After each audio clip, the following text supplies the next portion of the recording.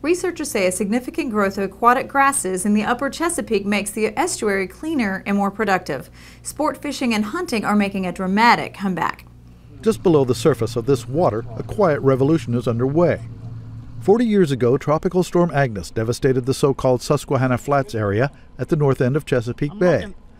The storm, along with pollution and general neglect, decimated a big field of aquatic grasses in the area. Now those grasses have made a dramatic comeback. Well, the Susquehanna Flats is currently the single biggest underwater grass bed in the Chesapeake Bay. It was a square, it would be. Cassie Gurbisz and her advisor Michael Kemp study the cyclical nature of the grass bed and how it impacts the local ecology. But they're like kennies in the respect that they, they kind of filter the water. So it's habitat, it's food because those little fish are food for the bigger fish.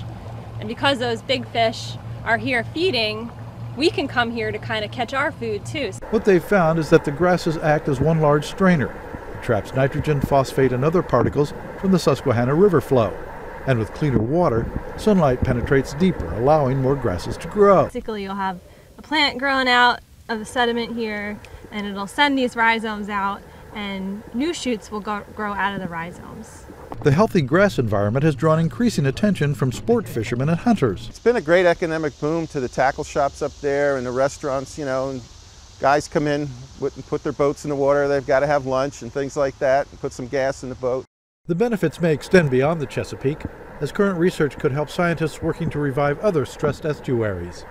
The question of understanding why the plants recovered might provide information, key information on understanding what's necessary um, to revegetate and uh, uh, restore the community, plant communities to their to their historic levels.